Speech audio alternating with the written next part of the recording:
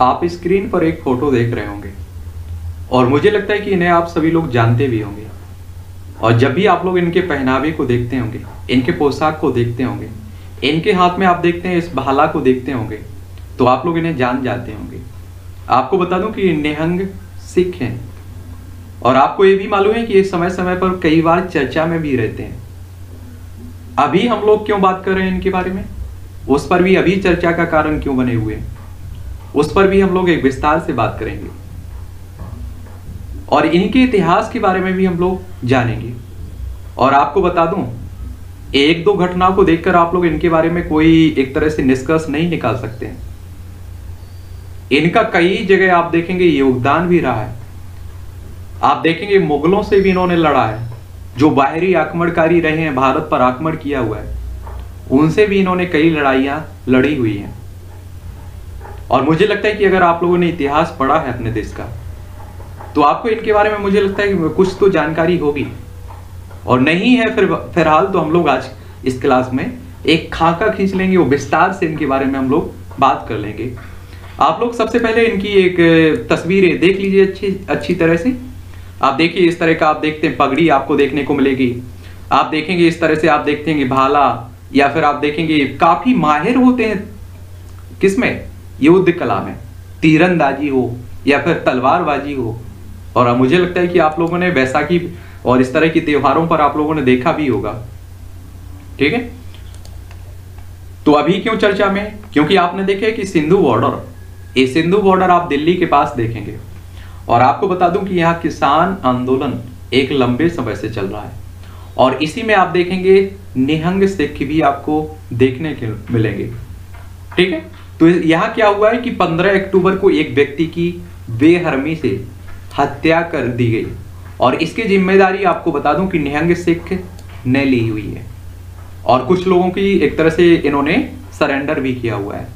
इन्होंने एक तरह से आपके ये ये भी कहा है कि हमारे जो एक तरह से पवित्र ग्रंथ होता है उसके साथ इस व्यक्ति ने छेड़छाड़ की हुई थी ए, या अपमान किया हुआ था। तो इसी के कारण हमने इसकी हत्या कर दी गई है। और याद रखिए, एक तरह से आपको बता दूँ कि अब जाँच हो रही है। उसके बाद आपको कुछ जानकारी सामने आएगी जो जाँच में निकलेगा। अभी हम आप लोग कुछ नहीं कह सकते हैं। और पिछले साल आपने देखा होगा, कोरोना महामारी का तबाही मचाए हुए थे एक तरह से, और लॉकडाउन लगा हुआ था। तो उस समय आपने देखा है कि पुलिस ने पास मांगा हुआ था। तो पिछले साल अप्रैल 2020 में पंजाब के पटियाला में तलवार से पुलिस वाले का हाथ काट दिया गया। काटने के बाद भी निहंग खबरों में आए थे। लेकिन हमें इन दो घटनाओं से, निहंग सिखों के बारे में कोई राय कायम नहीं करना चाहिए कि वो सही है या फिर बिल्कुल गलत है। ठीक है? इसीलिए तो कहता हूँ कि एक सिक्के के दो पहलू होते हैं। आप लोगों को देखना चाहिए, दोनों पक्षों को सुनना चाहिए, उसके बाद आपको निष्कर्ष पर पहुँचना चाहिए। और एक बात और बता दूँ आपको 26 जनवरी को भी आप लोगों ने देखा होगा। कि किसान आंदोलन के चलते किसान नेता अपनी रैली निकाल रहे थे। उसमें भी इन लोगों की तस्वीर आप लोगों ने देखी होगी। अतीत में निहंग सिखों ने धर्म को बचाने के लिए कई लड़ाइयाँ लड़ी हुई हैं और अपना सर्वोच्च बलिदान दिया हुआ है। लेकिन आपको बता दूँ कि उनकी यही बहादुरी उन्हें कट्टर भी बनाती है, जिसकी वजह से विवादों से ही उनका नाता बना रहता है। और आपको बता दूँ कि हर धर्म में आप देखेंगे इस तरह की कोई सेना रखती है कि धर्म की रक्षा करने के लिए। आप हिंदू धर्म में आप देखते होंगे आरएसएस को ले लीजिए आप लोग, या फिर आप लोग बजरंग दल को ले लीजिएगा आप लोग। समझ रहे? तो उसी से तरह से आप कह सकते हैं कि निहंग सिख भी अपने सिख धर्म की रक्षा के लिए एक तरह से अपनी स्थापना की बात करते हैं। और इनके अगर हम लोग अब शब्द के अर्थ की बात करें, कि निहंग शब्द का मतलब क्या होता है? इसका तात्पर्य क्या होता है? तो निहंग शब्द की उत्पत्ति आपको बता दूँ कि संस्कृत भाषा के निशंक शब्द से हुई है। किससे निसंक शब्द से हुई है। जिसका मतलब होता है निडर और शुद्ध। यानी कि किसी से ना डरने वाला, जो बिना किसी शंका के हो, यानी कि निसंग हो। जिसका किसी से मोह ना हो, अर्थात निसंग हो, और यही निहंग बन गया।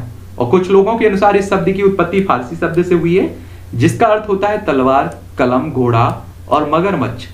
आपको बता दूँ कि ये मगरमच्छ की संज्ञा मुगलों ने दी हुई थी ने और आप देखेंगे इनके पास घोड़े रहते हैं, तलवार रहती है। इनकी घोड़े की तो सवारी ही करते हैं। गुरु शब्द रत्नाकर महान कोष में भी आप देखेंगे ऐसा ही एक उल्लेख मिलता है। और श्री गुरु ग्रंथ साहिब और श्री दसम ग्रंथ साहिब में भी ये शब्द आपको निहंग शब्द भी देखने को मिलेगा। और मुझे लगता है कि एक तरह से आप देखिए, अगर इनके साथ आप लोगों ने कुछ समय बिताया होगा, या फिर आप लोग सिख धर्म से संबंध रखते होंगे तो काफ़ी इनके बारे में आप लोग जानते होंगे। और अभी जिस व्यक्ति ने अपने सरेंडर किया हुआ है, उसे आप देखेंगे, कोई डर नहीं था उसके चेहरे पर, कि क्या होगा आगे, क्या पुलिस गिरफ़्तार कर रही है, या पुलिस के सामने सरेंडर कर रहे हैं। क्योंकि आप एक तरह से निर्डर रहते हैं, इन्हें कोई डर किसी का नहीं रहता है। समझ रहे हैं? आगे अगर हम लोग बात करें, अगर कौन होते हैं निहंग सिख? आखिर कहाँ से निकले हुए हैं? तो निहंग सिख सिखों की एक धर्म रक्षक सेना है और इनका आप देखेंगे 320 वर्ष पुराना शानदार इतिहास रहा है। वर्ष सोलह में सिख पंथ के अंतिम गुरु गुरु गोविंद सिंह जी द्वारा खालसा पंथ की स्थापना की गई थी। और आपको बता दूँ कि खालसा पंथ के पास दो तरह के सैनिक हुआ करते थे। उस समय की बात कर रहे हैं। एक तो आप देखेंगे साधारण कपड़े पहनते थे और दूसरे वो थे जो नीले रंग के कपड़े पहनते थे और बड़ी सी पगड़ी लगाते थे। और नीले रंग के कपड़े पहनने वालों को ही आप लोग निहंग के नाम से जानते हैं। और निहंग सिख आमतौर पर अमृत धारण किए होते हैं। और मैंने पहले भी बताया आपको कि इनकी वेशभूषा आप लोग जैसे ही पहनावा देखेंगे, आप लोग तुरंत पहचान जाएँगे कि निहंग सिख है। ठीक है? और आपको बता दूँ कि सिख धर्म का ही एक तरह से आपके ये, अंग है। अगर हम लोग निहंगों का बन, बाना की बात करें तो निहंगों का बाना यानी कि उनका पहनावा अन्य सिखों से भिन्न होता है और निहंग सिख हमेशा नीले रंग के कपड़ों में रहते हैं। और इसके साथ आप देखें बड़ा तेग यानी कि भाला या फिर तलवार अपने पास रखते हैं अपने पास रखते हैं। और हमेशा आप देखते हैं कि ये नीली पगड़ी बांधे रहते हैं। और साथ में ही आप देखते हैं कि पगड़ी पर ही चाँद तोरा लगा होता है। हाथ में आप देखेंगे कड़ा पहनते हैं और कमर पर आप देखेंगे कटार बांधकर रखते हैं और कई सिख आप देखेंगे ढाल भी रखते हैं और उनका योद्धाओं जैसा पहनावा भी होता है। एक बात और आपको बताऊँ। देखिए, आप सभी जानते हैं कि इतिहास में हमारे इस तरह की हमारे पास कोई हथियार नहीं हुआ करते थे जो आजकल आप देखते हैं। आपके पास बंदूक हो गया, तोप हो गई आपके पास। आप समझ रहे हैं? रॉकेट लॉन्चर हो गया आपके पास। उस समय आप सभी जानते हैं कि इसी तरह के जो भी हथियार हुआ करते थे, तलवार हो गई, भाला हो गया, तीर हो गया, इन्हीं से लड़ाइयाँ लड़ी जाती थी। तो उसी में आज भी आप लोग ये देखेंगे, ये ढले हुए हैं। और आपको बता दूँ, बेहतर तीरंदाज भी रहते हैं। समझ रहे और यह भी कहा जाता है कि गुरु गोविंद सिंह के चार पुत्र हुआ करते थे। उनमें से सबसे छोटे जो थे, उनका नाम था फतेह सिंह। और एक कहानी आप कह सकते हैं कि ये आपको देखने को, पढ़ने को मिल जाएगी। तो क्या हुआ कि इनके भाइयों की तरह फतेह सिंह भी योद्ध कला सीखना चाहते थे। लेकिन आप देखेंगे, इनके बड़े भाइयों ने कहा कि अभी तुम छोटे हो। यानी कि आप देखेंगे, तीन भाई इनके युद्ध कला सीख रहे थे। लेकिन इनका जो छोटा भाई था, वो छोटा होने के कारण उन्होंने कहा कि बड़े भाइयों ने कि आप अभी छोटे हो, आप रुक जाइएगा। लेकिन आपको बता दूँ कि ये सुनकर फतेह सिंह घर में गए और बड़ी सी पगड़ी और नीले रंग का चोला पहनकर बाहर आए और कहा कि अब तो मैं छोटा नहीं लग रहा हूँ। कहा जाता है कि यहीं से निहंग पंथ की नीली वेशभूषा का विचलन शुरू हो जाता है और एक तरह से आप कह सकते हैं कि यहीं से इनका अस्तित्व आ जाता है। अगर हम लोग निहंगों में भी आप देखेंगे, दो समुदाय होते हैं। तो निहंगों में भी आप दो समूह देखेंगे। एक तो जो ब्रह्मचर्य का पालन करते हैं और दूसरा जो ग्रस्त होने का एक तरह से पालन करते हैं। अब आपको बता दूँ कि आप लोग हिंदू धर्म से जुड़े होंगे कोई तो आप लोगों ने संत देखे होंगे, सन्यासी देखे होंगे।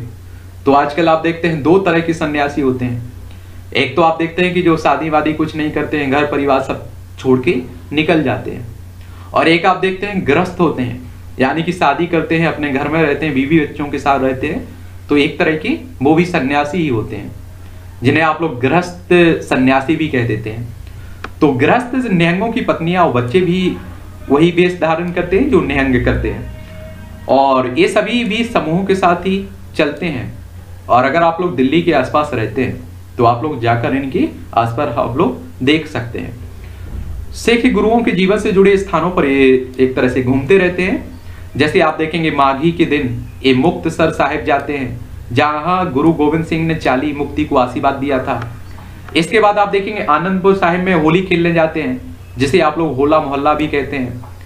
और इसी तरह आप देखते हैं इनके जत्थे बाकी जगहों पर भी जाते रहते हैं। इनके तीन दल हैं एक तो तन्ना दल और एक आप देखेंगे विधि चंद दल और एक बुड्ढा दल। और इनके सबके अलग अलग मुखिया होते हैं जिन्हें आप लोग जत्थेदार कहा जाता है। किस नाम से जानते हैं? जत्थेदार के, के नाम से। अब बात आती है कि निहंगों के काम क्या होते हैं।